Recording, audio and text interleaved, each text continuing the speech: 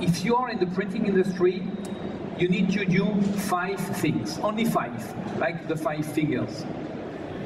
The first one is you need to work with your clients, big or small.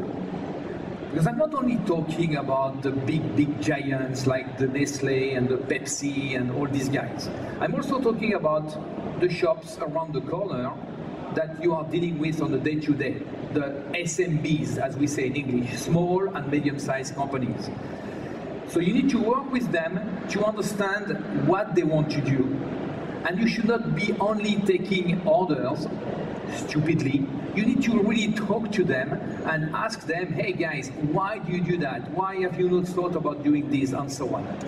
And you need to help them in designing their products the right way. And when I say products, it doesn't have to be a box, it can be a direct mail, it can be a brochure, it can be a catalog.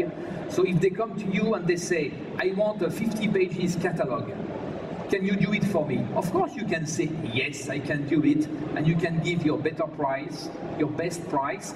Maybe someone will make it even cheaper. No, you can tell them, okay, why do you do a 50 pages catalog, and how many do you need? Do you need 1,000 copies? Oh yes, thousand, but why thousand? Maybe you make only 500 and then you do a reprint. Or maybe you don't need 50 pages of thousand catalogs, but you need only 20 pages in bigger quantities, and then sometimes you will need 50 pages. So you need to, to discuss with your clients when you are taking orders. That's really, really important. The second thing you need to do, and you need to, to understand data management. Because the documents today, they, they are going to have variable data printing, personalization, versioning, limited edition, and so on. So you need to be able to understand all the technology embedded into a document. And here you need special people. It's not someone that is changing plates on an offset press that can do that. You need IT skills, and these IT skills, you need to have them in your house. Third, you need to be very good at printing. Most of the printers, you are good at that because you have been doing that for the last 50 years. So printing operation, you start a job, you print it, you finish it, you put the glue, you put the right substrate, you pack it.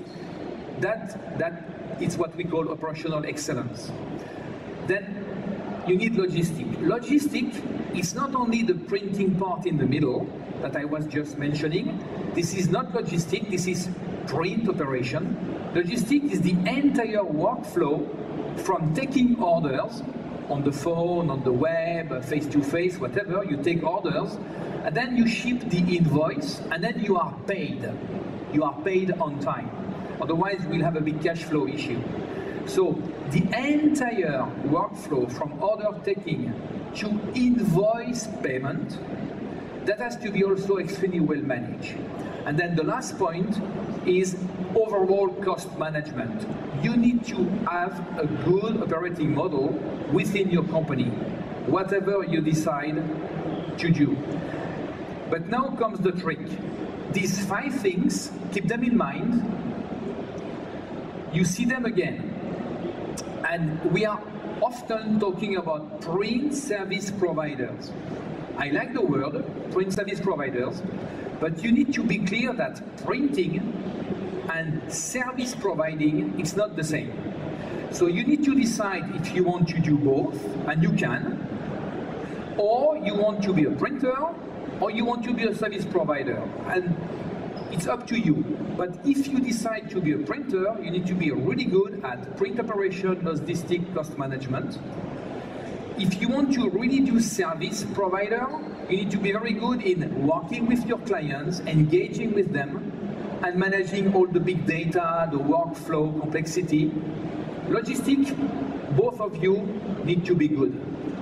Cost management is less important here because typically the margins are much higher. So that's the things that you, you need to have in mind. And then you will understand why I say that. So printers need to print very effectively and th there will be further industry consolidation over here driven by online printing. And service providing is where you have growth because you need to give good advices to the brands and you need to work with them, understanding what they want to achieve when they do a specific campaign.